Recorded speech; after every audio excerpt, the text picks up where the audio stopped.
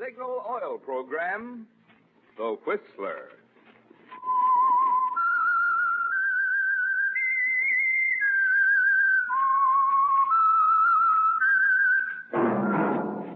That whistle is your signal for the Signal Oil Program, The Whistler.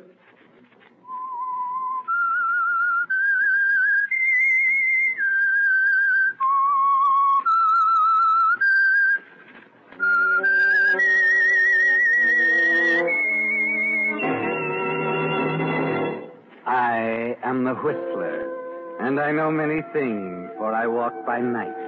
I know many strange tales hidden in the hearts of men and women who have stepped into the shadows. Yes, I know the nameless terrors of which they dare not speak. Yes, friends, it's time for The Whistler. Rated by independent research, the most popular West Coast radio program. And remember, let every traffic signal remind you, with new Signal gasoline, you do go farther than ever. Look for the familiar big yellow and black circle sign that identifies those popular signal service stations throughout the West from Canada to Mexico. And now the Whistler's strange story. Stolen murder.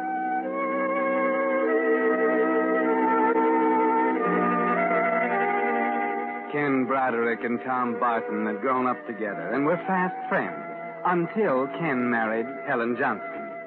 Helen had never liked Tom, not only because he was pasty faced and sickly, but principally because of his influence in keeping her husband Ken in St. Augustine, Florida. According to Tom, they were going to write great American novels and bring the world humbly to their door. But Helen had other ideas. A letter to her brother, who was an important literary agent in New York, and she wangled a job for Ken as copywriter in a small Manhattan advertising agency. And so on that night of February 23rd, they were ready to say goodbye to Florida and to Tom Barton. Thank heavens, Ken, this is the last time we'll drive down this street. Look at it. Eleven o'clock and everybody, absolutely everybody in bed. Yeah, I suppose. But you know we're liable to miss this old town after we've been in New York a while, don't you? Oh, Ken, that again. For heaven's sake. I can't help it. If Tom would only go along with us, it'd be different. Tom, Tom, will you do me a favor and forget Tom? When we got married, we were going to travel and meet people and do exciting things. Well, this is our chance. Sure, sure, this is our chance. Okay, here we are. We say goodbye to Tom, and that's that. Well, I'll be glad to get this over. Well, coming with me, aren't you? Do I have to? It's the least you can do, Helen. All right, all right. If it'll make you feel any better. Hmm. Looks to me as if he's already in bed, like the rest of the dear citizens. Probably in back working on his book. Look, Helen, try to be halfway decent to him, will you? Of course. Funny, I don't hear him. Helen, What? suppose he had one of his attacks? He's probably only sleeping. I don't know. Door's unlocked. Tom? Hey, Tommy! Tom! Helen, I don't like this. Wait a minute before you wake up the neighbors. Look, coming up the walk. Huh? Oh. oh, Tommy. Hey, we were beginning to worry about you. Ken. Helen. What, what are you doing here? Oh, how do you like that? We leave tomorrow and you ask Tomorrow? me. Oh. Oh, I forgot. I. Tom. Hey, what's the matter with you? Oh, it's. Helen, going to get some water, quick. Hey, Here, you better sit down on the step. I... I'm sorry, Ken. I, I'm all right now. Oh, the devil, you're all right. Tom, this is crazy. What you need is a good specialist. You can't go on like this. Now, if you'd only use your head and come to New York with us. New York? Well, sure, there's plenty of room in the car. We could get a good doctor for you and find out what this is all about. Yeah. Yeah. how is he? I guess you're right, Ken. You are right. Uh, I will go with you tomorrow. You will? Oh, that a boy. Helen. Helen, did you hear that? Tom's going with us. Yes, I heard. Here, drink your water.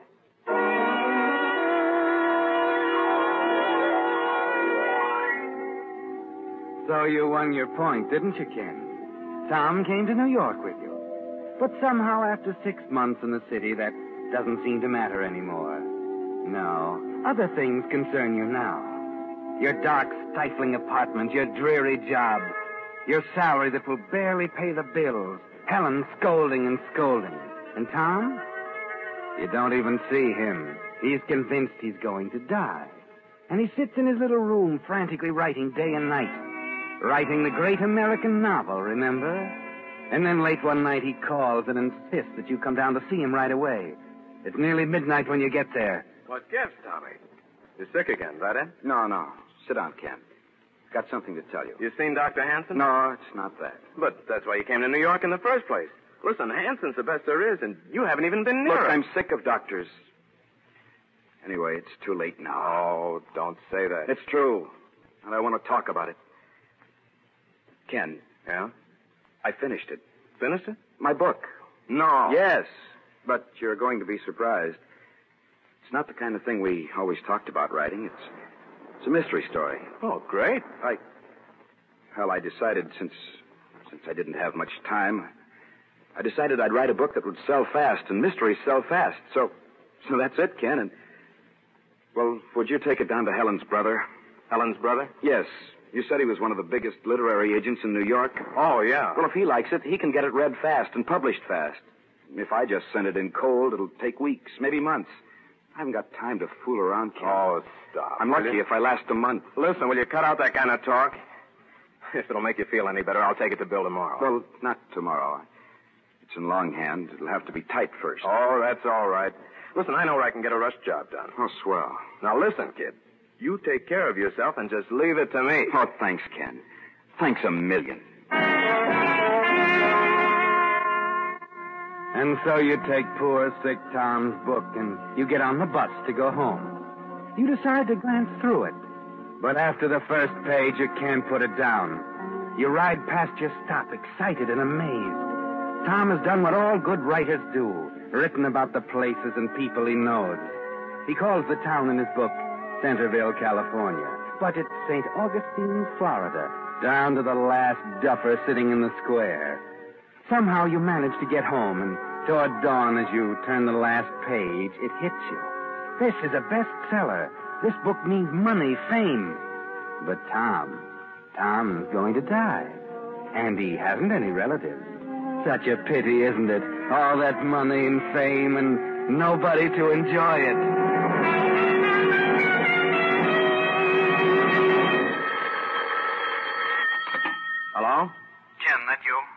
Yeah. Hello, Tom. Uh, how are you? I'm all right. I haven't you heard from Bill yet about the book? It's been three weeks. Well, yeah, I, I was going to call you. Bill liked the book quite well, but he thinks you should do a little rewrite. rewrite. I haven't time. I feel terrible. I well, I thought the book was good just as it stands. Oh, it is, except for a few minor points. Uh, look, Tom, I've been thinking. You know that little cabin Helen and I rented in June up in Connecticut? Yeah. What? Well, I can get it for you cheap. It's kind of a dump, but it's way off by itself. If you get up there and spend a couple of weeks rewriting some spots and. Yeah. Yeah. I gotta get out of New York anyway. That that's an idea. Swell. Suppose I call the real estate agent right away, and then Saturday I'll drive you up. Oh, thanks. Thanks, Ken. I don't know why you do all these things for me. Oh, forget it. After all, what are friends for?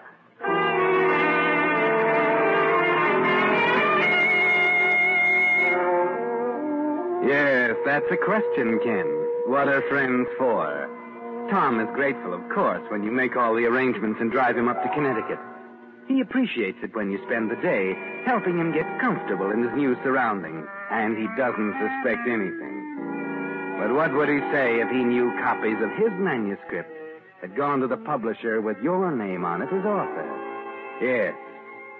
What would he say if he knew you had stolen his work, perhaps the last work of his lifetime? What would he say if he could see you now in the office with Helen's brother? A thousand dollars, Ken, and that's just the advance. I don't know why the devil Helen never told me you could write like that. Well, it, you know, it takes time to get going. You're going now, all right. I don't know if I ought to tell you this, but, uh, Uh, what's up?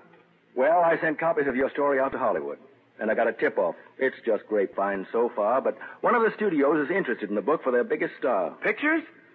Oh, my gosh, I never dreamed. They thought the characterization of the victim, DeWitt, was out of this world. In fact, all the characters. Oh, gee. uh, When will you know definitely? Probably tomorrow. Better stay by your phone because we want to close the deal quick. And if we get the answer I think we'll get, you're practically a rich man.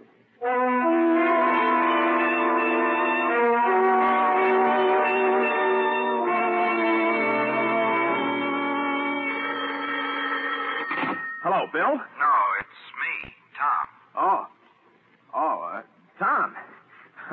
I was expecting a call from Bill uh, on your book. Uh, where are you, anyhow? I'm in Fairfield, Ken, and I've got news, terrific news. Huh? What do you mean? Well, maybe it's early to say yet, and I may be disappointed, but well, Dr. Hanson seems so sure. Dr. Hanson. Tom, for the love of Mike, what are you talking about? Oh, I'm sorry, I'm excited.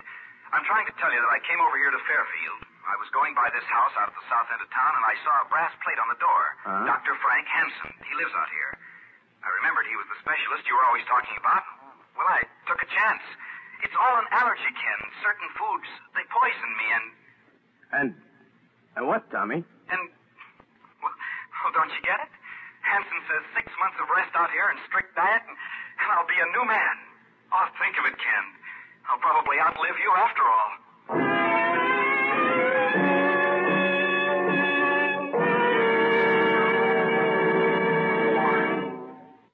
With the prologue of Stolen Murder, the Signal Oil Company brings you another strange story by The Whistler.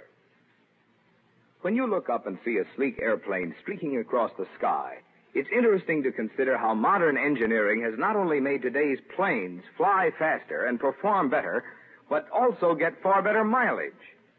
Now, that's interesting because in much the same way, science has increased the mileage of new ga- signal gasoline by increasing its performance. You see, when science rearranged the atoms in gasoline molecules to put improved performance into new signal gasoline, they not only gave you quicker starting, faster pickup, and higher anti-knock, but by helping your motor perform more efficiently, they also made new signal gasoline go farther than ever. Well, that's an important point to remember. It's the same qualities in gasoline that get extra driving pleasure from your motor that also get extra mileage. That's why Signal says look to your speedometer for the best proof of gasoline quality. It takes extra quality to go farther. And Signal is the famous Go Farther gasoline. And now, back to the Whistler.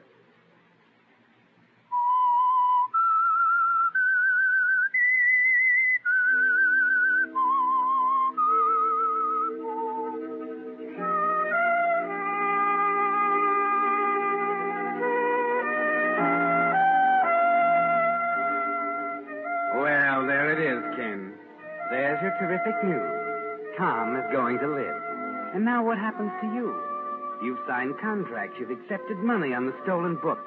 Hollywood beckons. Or is it the penitentiary? Well, perhaps you can squeeze out of the hole with the law, but not with Helen's brother or with Helen. The disgrace, Ken, the scandal, the humiliation. You can almost hear Helen nagging you now as you hang on to the receiver half Ken, dazed. what's the matter, nagging, Ken? nagging. Ken, are you still there? Huh? Oh, oh, sure, Tom, yeah. Oh, I thought you'd hung up. Well, well, no. It's just the news. I'm so happy for you, I, I don't know what to say. Listen, there's something else important.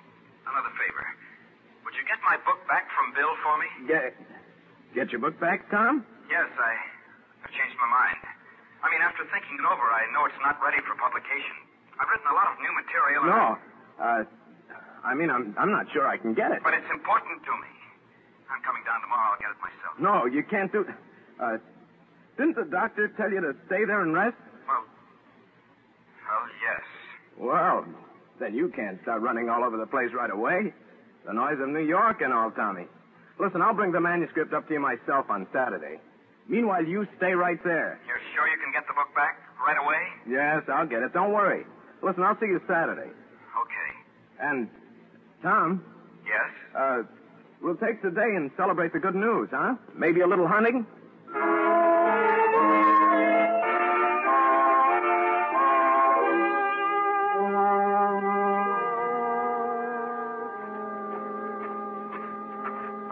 How's Trick? Ken, you old son of a gun, it's good to see you, boy. Hey, boy, you look great. Oh, really? I can hardly believe it, but I've gained three pounds already. Three pounds? Yeah, well, come on in. Come in. Yeah.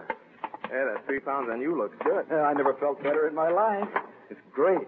oh, well, here, sit down. Yeah, sit down. thanks. I was watching for you down toward the road. Huh?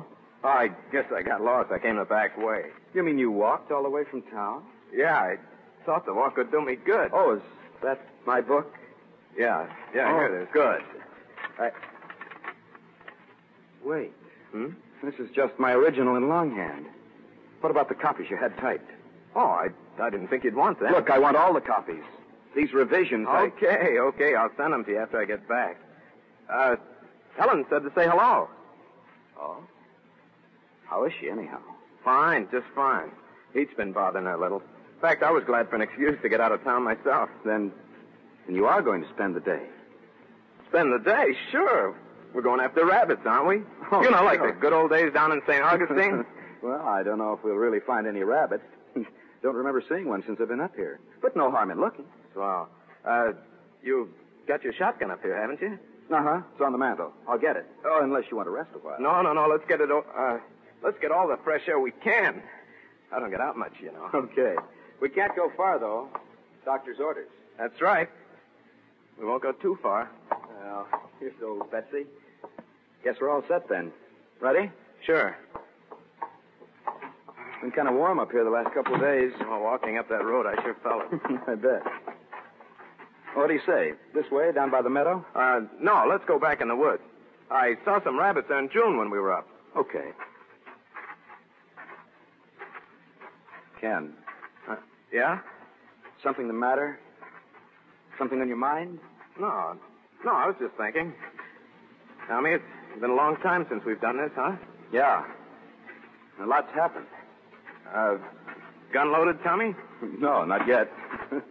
Fine thing, hunting rabbits with an empty gun. You know, Ken, you don't look so well. No? You ought to give up that job and get one up here in the country Hey, you... there's one over there. Yeah, yeah, I see him. Get a beat on him. Oh, you knocked him end over end. Sure did. Looks like a beauty. Yeah. Now, how's that for a shot? Good going. Nice and fat, too. Well, we'll have rabbit stew, Ken. in you go, old boy. Now, come on, Ken. Wait, With one one rabbit around, there's bound to be a million more. Yeah, uh, how about me taking the gun? Huh? Uh, I want to try my hand at knocking over a rabbit. Oh, sure. Here you are. Thanks. Now, Tommy, listen to me. Now listen to me close, kid. Tom, I want you to forgive me. Forgive you? What for? Tom, I'm going to kill you. Oh, no. Tom, I have to. It's your book, Tom. It's a great book, and they're publishing it. It's a, it's a bestseller. It'll make a fortune. Ken, what are you saying? You said you got my book back. You said I stole it. You stole it. I thought you were going to die. You thought so. You told me just a few weeks. Yes, and all that money, Tom, I couldn't resist it. I sold the book in my name. Look. And now you're going to live. But you can't. I can't help it, Tom. But I can't let you live. Ken, wait. Listen. You can't do it. You won't get away with it. Listen to me, Ken. You're sticking to this, Tom. No, no. Oh.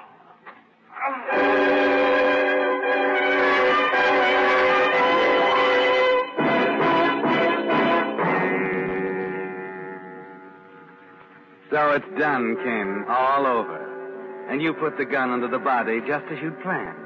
But you're weak in the knees, and you don't know if you can get back into town unseen or not. And then suddenly you find strength you didn't know you had. Because through the brambles there's a sound. Hey! And a voice. Hey! Who is it? You got a rabbit? Hey! You dive for the embankment of a little stream and press yourself hard against the ground behind a rock. Hey! Good lordy. You can see him now. A tall kid carrying a shotgun.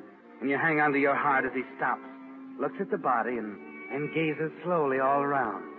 Then he suddenly leans over, fumbles at Tom's jacket a moment, picks up the rabbit Tom shot, and sticking it under his belt, hurries off in the direction he came.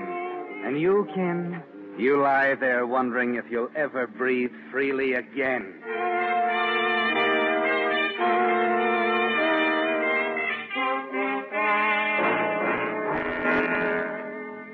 And So it's my pleasure to announce that not only will the book hit the stands tomorrow, but Oh, come on, Bill. Will you stop teasing? but the contracts were finally signed in Hollywood yesterday. Ken, you're a rich man. oh, Ken! Fifty thousand dollars. Fifty thousand. Fifty thousand dollars and not a care in the world. Yeah. Yeah, not a care in the world. And did you see the publicity in this morning's paper? What breaks we're getting. The lead column in the Times book section. No. Hey, that's wonderful. Haven't seen the papers yet, but Oh, I- well, I'd rather hoped you had. Well, Bill, what's the matter? I. I'd hoped that this wouldn't have to spoil the good news, but your friend Tom Barton, uh, Tom? I might as well give it to you straight. He was killed by a shotgun out near Fairfield. Oh, no. They only found the body last night. Oh, Ken. Suicide? No, they thought that at first. Ill health. But a doctor out there says he was in good spirits. He had every chance of recovery. The the doctor? Then an accident? Worse than that. From the position of the gun and the body, they suspect murder. No. But look, Ken, it's nothing for you to worry about. You don't want to let it spoil the success of your book.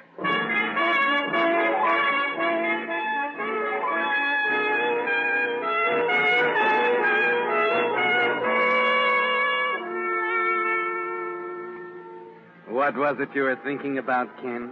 Breathing easily? No, no, not yet you can't. The delay in finding the body gave you some hope. But now you know exactly what will happen.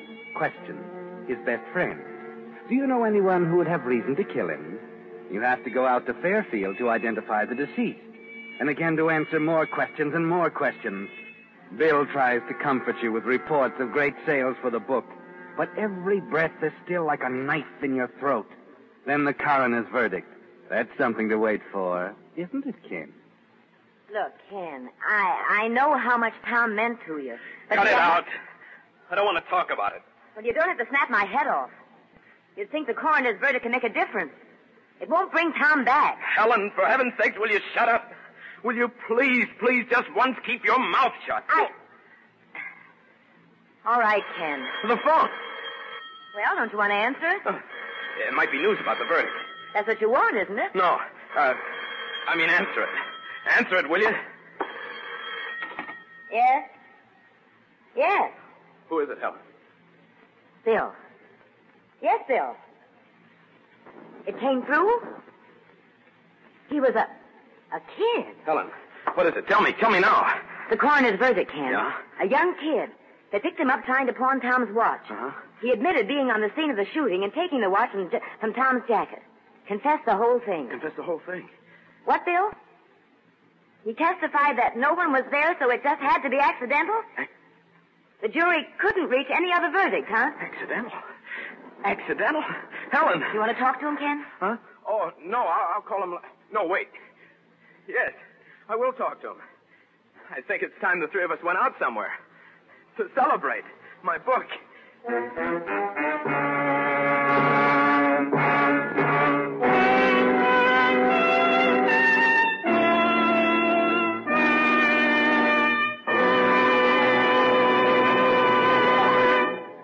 The Whistler will return in just a moment with the strange ending of tonight's story. Meantime, a word about that extra something you get when you have your car serviced at independently operated Signal gasoline stations. I'm talking about that feeling of confidence and well-being you have as you drive out, knowing that your car has been thoroughly and conscientiously taken care of. You see, signal dealers, being in business for themselves, do go out of their way to give you the kind of job they're proud to stand back of. When they lubricate your car, for instance, here's what signal dealers do to make sure not a single point is overlooked. Instead of relying on memory, they check each point against Signal's lubrication chart, which shows every lubrication point on your car and specifies which of Signal's nine specialized oils and greases each part should have for long, trouble-free service. But they don't even stop there. No, sir. Just to make doubly sure, they check each point again which is why it's called Signal's Double Check Lubrication. That's the kind of service you want these days when your car has to last until who knows when. And that's the kind of service you get from your friendly, dealer-owned Signal service station. And now, back to the Whistler.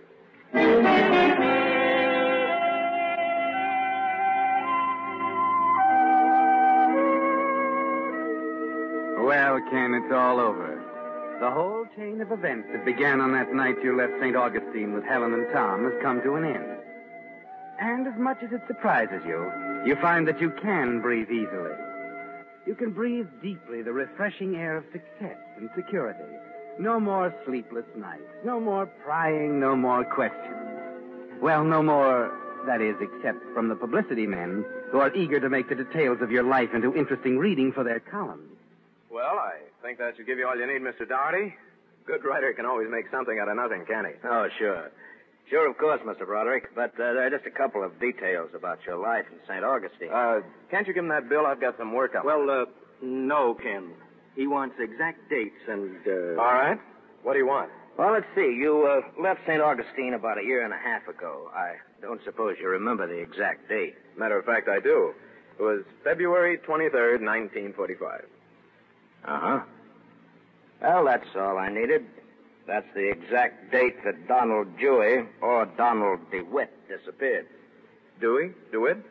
Say, what is all this? Ken, I might as well tell you now that Mr. Doherty isn't a publicity man. He's from the St. Augustine Police. Police? Look, if this is somebody's idea of a joke. Joke?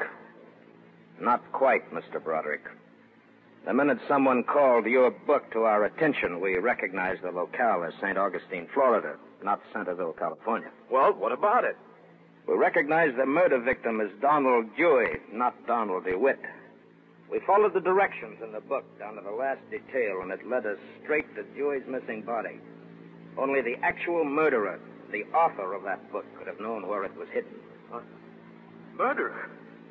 Oh, no. So that's why he changed his mind about leaving Florida.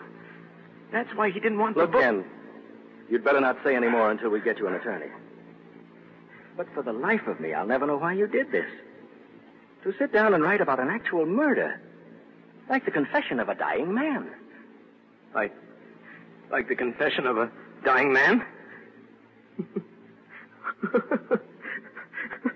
oh, that, that's funny, Bill. what you just said is very funny.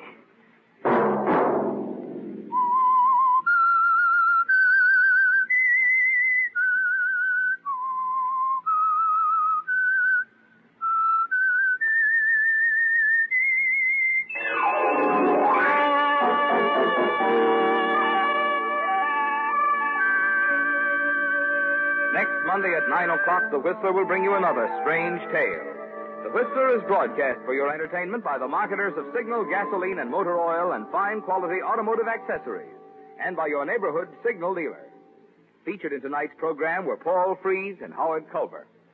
This program, directed by George W. Allen, with tonight's story by Eleanor Beeson, music by Wilbur Hatch, is transmitted to our troops overseas by the Armed Forces Radio Service.